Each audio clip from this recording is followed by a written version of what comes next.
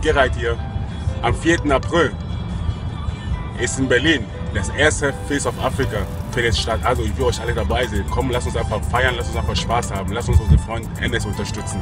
Also viel Spaß euch. Bis am 4. Ciao, ciao.